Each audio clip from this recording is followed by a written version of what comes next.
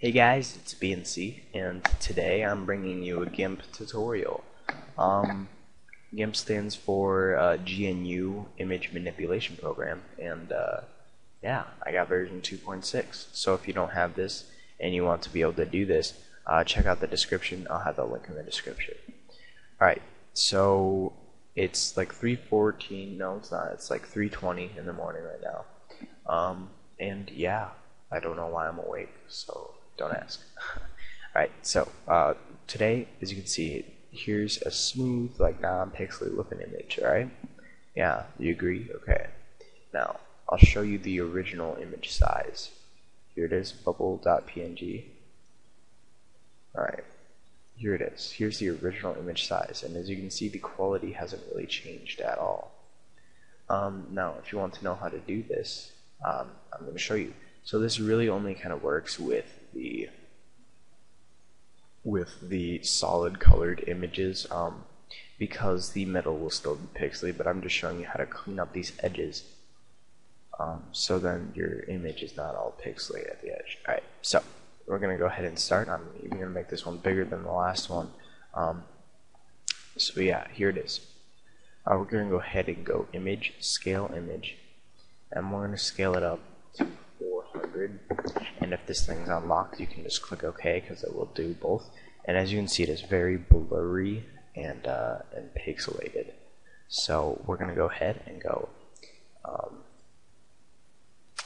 hmm, actually I want to add a drop shadow to this one. So we're gonna go ahead and go colors um, colorize and then take your lightness all the way up. And as you can see there now you can see it starts to get blurry so we're going to click OK, and uh, there you go. That just enhances it. Um, Alright, so now we're going to go ahead and right click, Alpha to selection, click select, shrink, and we're going to shrink the selection by 3 pixels.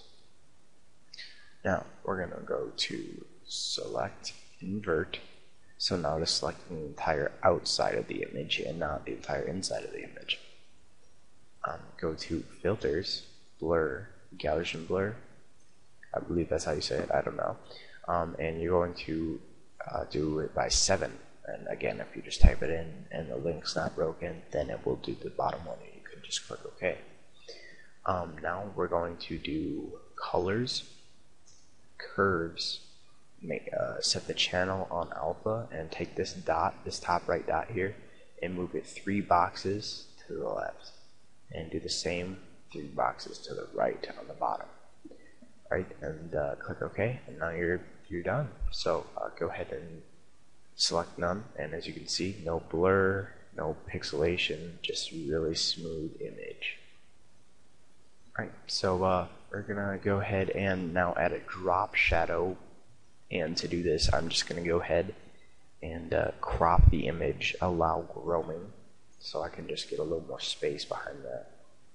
And um, and uh, now we're going to take the layer move tool. That's what I just do for default. And then we're going to go ahead just really quick and go image, no, layer, layer to image size. And then we're going to go filters, um, light and shadow, drop shadow. And how I like to do my drop shadow is I do 10, 10, 20 and then um, the opacity 75 and uh, don't allow resizing. Click OK. There you go. We got nice drop shadow even. And uh, there you go. Now you got like a nice icon or like a speech bubble for a website if you want to put that on your website. Um, and yeah now if you're not happy with the size you can just crop it. Um, I'm gonna do this